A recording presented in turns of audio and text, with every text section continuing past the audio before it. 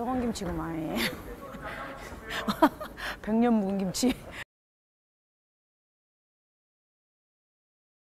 완전 홍어 냄새나. 아니 진짜 우리 서 있는 자리에서도 냄새가 스물스물 올라왔어요.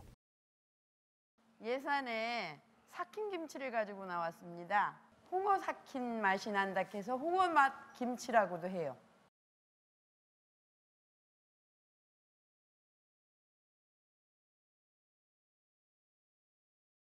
저 김치의 특이한 게 여러분 보시면 알겠지만 고춧가루가 안 들어갑니다. 그러다 보니까 오랜 시간 삭혀서 맛을 내고 그러는데 예전에는 그 김치 고춧가루가 안 들어간 거예요? 임진왜란 때부터 이 김치를 먹었대요. 그때는 아예 고추가 없었대요.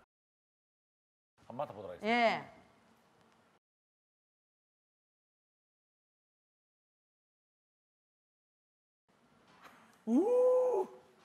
대단하지요.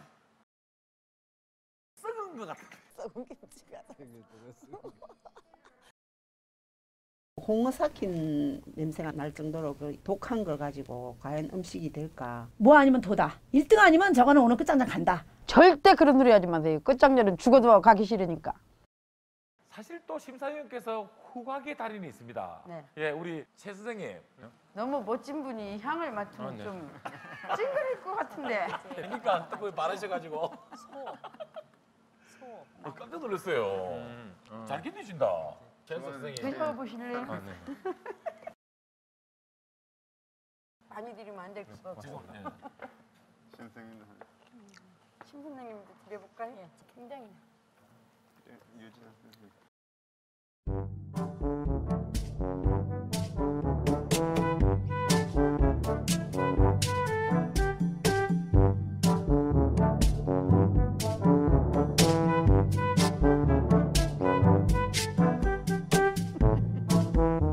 시간 동안 수분이 빠져서 네. 쫄깃쫄깃한 느낌이 있고 원래 거칠은 소금이 염도도 세고 뒤에 쓴맛이 있는데 쓴맛이 확실히 도네요 뒤에.